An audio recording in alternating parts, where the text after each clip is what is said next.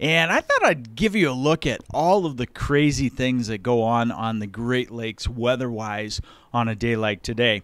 Several things to pick out. First, I want you to take a look at this on Lake Michigan. Earlier in the day, look at this dominant one band of lake effect snow on a north wind go all the way down into Indiana. Be real small in width, maybe 5, 10, 20 miles wide, but carry all the way down into Indiana. Second thing is look at over here in Lake Huron.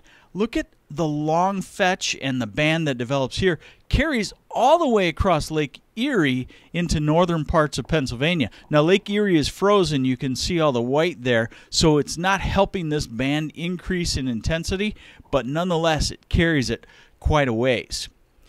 Lake Superior. We can see three things here on Lake Superior. First, the lake effect bands on Lake Superior, look at how they actually help this band on Lake Michigan. So a lot of us on the western side of Michigan think, well, we're getting lake effect off of Lake Michigan. But a lot of times, these bands of lake effect snow prime the atmosphere and help the bands on Lake Michigan be a lot stronger and heavier than they would. Second thing you can see, look at the ice forming up here. The lake effect bands, they don't form until it gets over open water. See how the edge right here where the lake effect bands are, they don't form over the ice. You got to have the open water so you can see that. Also, the third thing is notice out here when the winds switch and these clouds start to come out of a different direction, the lake effect bands start to shift and break down. So that's a sign that warmer air is moving in aloft.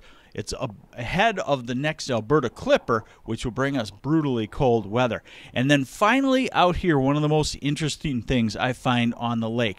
Look at this little whirling vortex that develops on the eastern part of Lake Ontario and moves on shore. That's what we call a lake induced mesoscale vortex. Lake induced, caused by the lake, mesoscale, pretty small scale, and a vortex, a whirling storm system. So essentially, a disturbance hits the warm water, forms a mini low pressure system, and then moves on shore and enhances the snowfall.